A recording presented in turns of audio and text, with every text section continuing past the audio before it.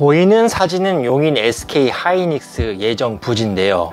토지 거래 허가 구역으로 지정됐죠. 국토교통부 장관, 시 도지사는 토지의 투기적인 거래가 성행하거나 지가가 급격히 상승할 그런 우려가 있는 지역을 토지 거래 허가 구역으로 지정할 수 있어요.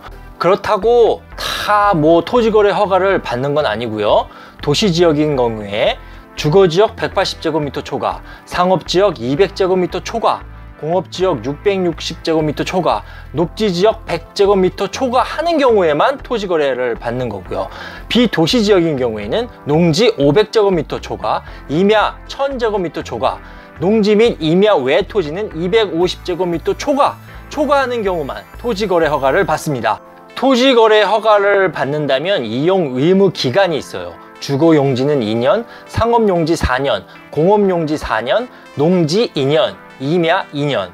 이 외에도 제출 서류로 토지 이용 계획서, 토지 취득 자금 조달 계획서를 제출해야 해요. 토지 거래 허가 구역 내 토지 거래 허가를 받지 않고 거래할 수 있는 방법은 바로 경매. 민사 집행법 143조 2항을 보면 채권자가 매수인인 경우에는 매각 결정 기일이 끝날 때까지 법원에 신고하고 배당받아야 할 금액을 제외한 대금을 배당기일에 낼 수 있다라고 정해져 있어요.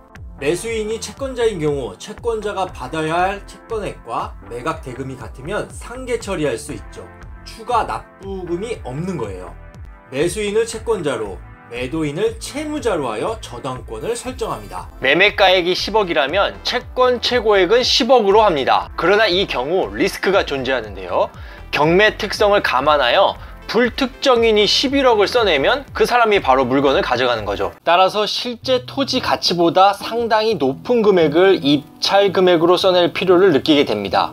그래서 매수인이 12억 원을 써내어 물건을 가져간다 치면 물건 받고 난 이후 매도인에게 2억 원을 다시 받아야 하는 이런 난처한 상황이 올 수도 있는데요. 이러한 것을 막기 위해 처음 저당권을 설정할 때 시세보다 높은 15억 원으로 하는 거죠.